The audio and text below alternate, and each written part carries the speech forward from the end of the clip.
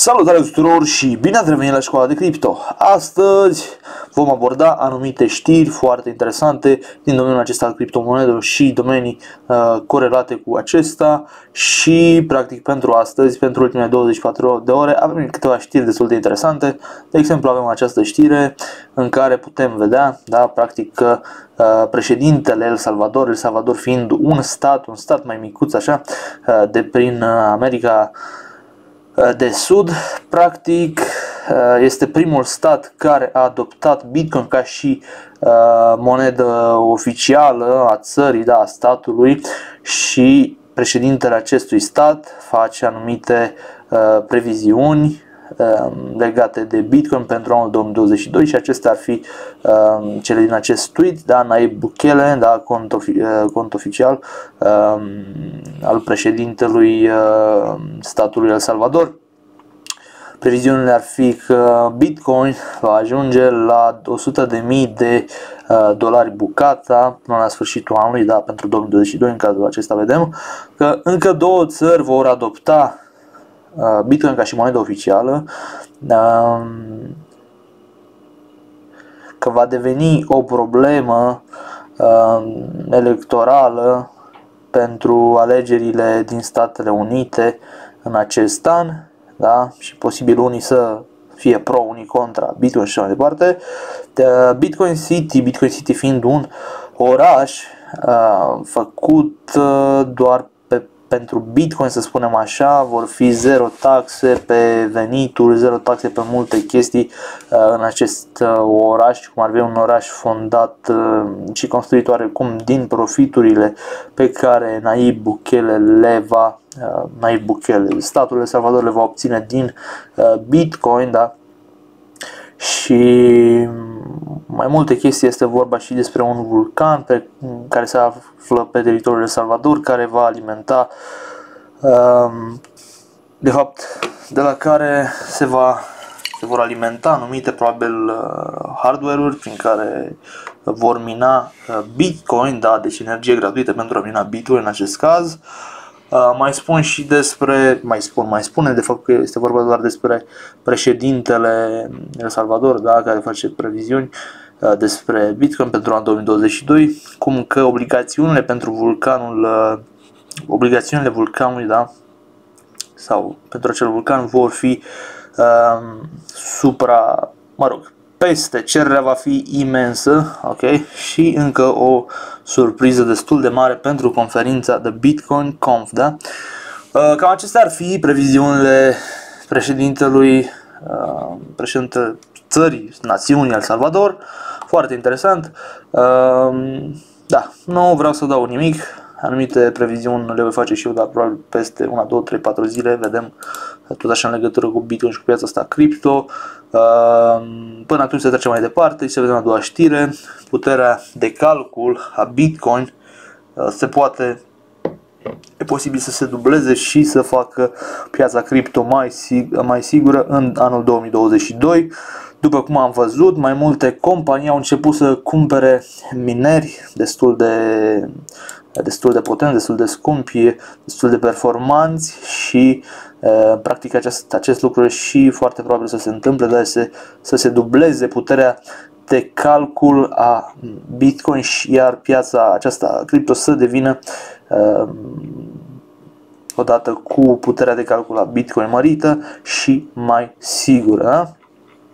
După cum am văzut în unele știri din zilele trecute, era o companie, aceasta Marathon Digital, care cumpărase, avea un acord de cumpărare a unor mineri de Bitcoin în valoare de gen 100 de milioane de dolari sau nu mai știu exact cât, dar oricum foarte multe uh, de ordinul sutelor sau de genul sutelor milioane, sutelor de milioane de dolari, da?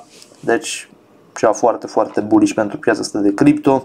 Uh, mai avem apoi o știre, o știre care prezenta cam ce este, uh, care e treaba cu uh, cryptocurrency burning, da, deci cu arderea de uh, criptovalute, criptomonede, da, Uh, și chestia foarte importantă și de reținut din toată această treabă, da? deci, deci ce este în principal și cum funcționează, este că uh, practic arderea este de fapt un proces care, prin care sunt trimise unele unități de, din criptomoneda sau tokenul respectiv către o adresă uh, care poate doar primi criptomonede și deci în acest mod scoțând uh, acele criptomonede din circulație nu mai pot fi tranzacționate pentru că acea, acea adresă poate doar să primească da? Criptomonede, nu poate și uh, trimite sau face orice altceva cu acele uh, criptomonede. Da? Deci cam asta. Când auzim burning uh, cryptocurrencies, burning crypto, burning chestii de genul, asta înseamnă sau ardere sau distrugere de criptomonede și așa mai departe. Bun. Asta e un, uh, un, uh, un instrument anti, anti-inflație, anti-inflaționar, da? Deci care să prevină inflația. Bun. Și să facă acea criptomonedă în unele cazuri deflaționare, adică uh, să nu-i se piardă valoarea în timp, ci să îi crească. Bun. Încă o știre foarte interesantă. Uh, autoritățile indiene uh, practic au pus sub investigație șase uh, platforme de pla, șase platforme de tranzacționare cripto pentru suspiciuni de evaziune fiscală. Printre acestea se află și Wazir X. Wazir X este o platformă destul de cunoscută în domeniul acesta al criptomonede, dar am văzut o grămadă de uh, criptomonede, criptomonede pe care în viața nu le-aș fi cumpărat listate pe acest, uh, acest exchange. Da, nu știu ce să zic. Uh, eu rămân la exchange-uri mai sigure, mai sigure gen uh, uh Binance, gen Crypto.com, gen uh, ce să mai zic, uh, FTX, uh, să mai vedem altele dacă îmi vine acum prin minte, uh, gen Coinbase și Coinbase are, e ok, sau Coinbase Pro, uh, și Huobi e bun și da, chestii, cele majore, da, cele mai mari, da, pentru că astea mai micuțe așa la nivel mondial. Mm, mm, mm. De exemplu, dacă luăm Gate.io, și acolo la fel se listează o grămadă de criptomonede care unele deja au făcut ragul, altele urmează să facă și așa mai departe. Da, da, pentru suma corespunzătoare ce nu se face. Mă rog, hai să trecem mai departe, următoarea știre. Ce se va întâmpla la următorul uh, halving al Bitcoinului? Practic, odată la 4 ani se întâmplă un fenomen, un eveniment da, în cadrul uh, proiectului uh, Crypto Bitcoin care se numește halving. Da? Și ce înseamnă asta? Că odată la 4 ani um, se înjumătățește recompensa pe care minerii o primesc. Da? De, de exemplu, dacă înainte, să zicem că dacă în prezent ei primesc, este un exemplu, da?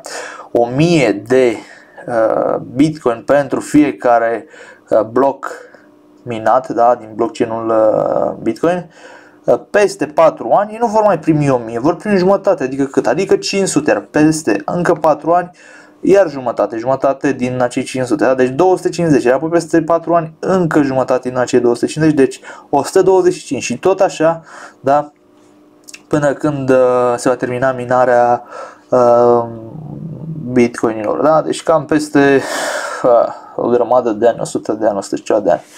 Uh, da, foarte interesant. În general, ce se întâmplă? Se întâmplă că prețul crește.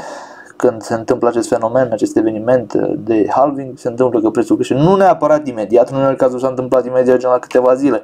În alte cazuri s-a întâmplat la câteva luni, dar în general crește, prețul se apreciază după un halving. Da? Deci cam asta se întâmplă în general.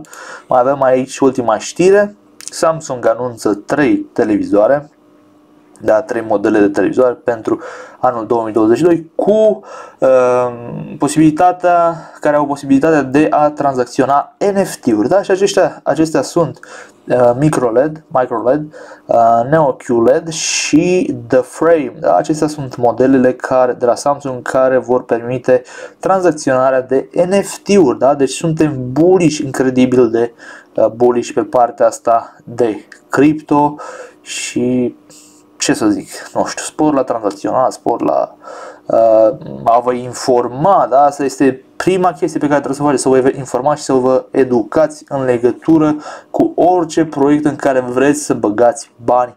Bun, deci cam astea au fost 2, 4, 6, cele 4, cele 6 știri de astăzi, de fapt din seara aceasta.